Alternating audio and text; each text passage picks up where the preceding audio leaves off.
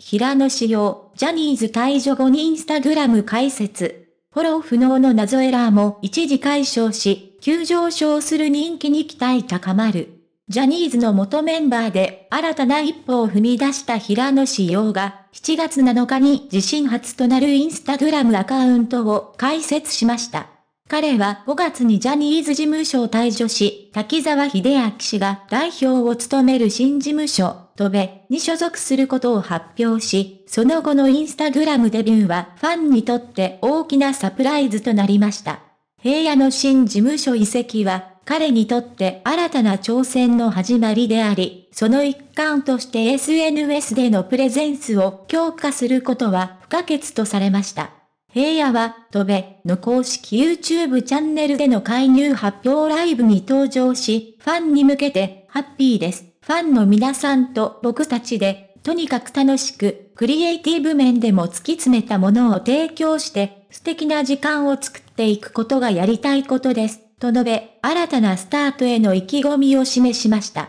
さらに、元 V6 のメンバーである三宅健も、平野と神宮寺勇太の新事務所への介入を祝福し、特別な瞬間を共有しました。三宅は、ジャニーズ時代にはあまりプライベートな写真を公開することはなかったと語りながら、平野と神宮寺のインスタグラムアカウント開設を報告しました。この瞬間にファンは大いに興奮しました。その翌日、平野はインスタグラムで初の投稿を行い、おはよう。昨日はみんなありがとう。楽しかったね。とのメッセージとともに、新事務所での潜在写真のオフショットを10枚も掲載しました。彼は、楽しかったけど3枚目は朝の激眠で、最後は体力尽きた平野をご覧ください賞。とファンとのコミュニケーションを楽しんでいます。これに対してファンからはたくさんの感謝の言葉や賞賛が寄せられ、新たなインスタグラムアカウントに対する期待が高まりました。しかし、平野のインスタグラムデビューには予想外のトラブルが発生しました。彼のインスタグラムアカウントには膨大な数のファンが殺到し、彼をフォローしようとすると、フォローが解除されてしまうという異例のエラーが発生しました。この問題は、平野のフォロワーが急速に増加した結果、発生したもので、多くのファンがフォローできない状態に不安と混乱を感じました。しかし、8日になってエラーが収まり、平野のフォロワー数は急上昇しました。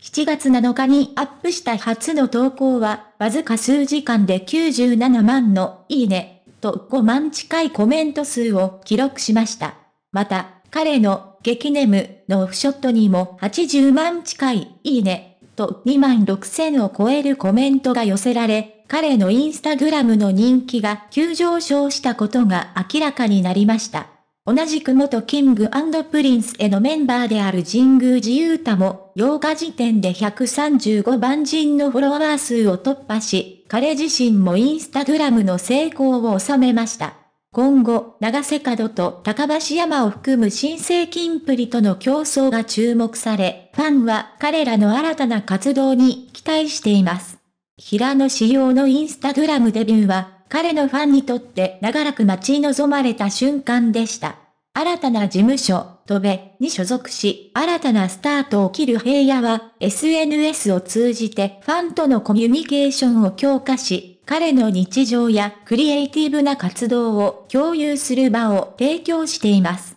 その結果、彼のインスタグラムアカウントは瞬く間に人気を集め、数々の投稿が大きな反響を呼び起こしました。しかし、予想外のフォローエラーが発生したことにより、一時的にファンたちは不安と混乱を経験しました。それでも、エラーは解消され、彼のフォロワー数は急増しました。平野の成功は、ジャニーズから独立し、新しい挑戦に取り組むアーティストとしての決意を示すものであり、今後の彼の活動に期待が高まっています。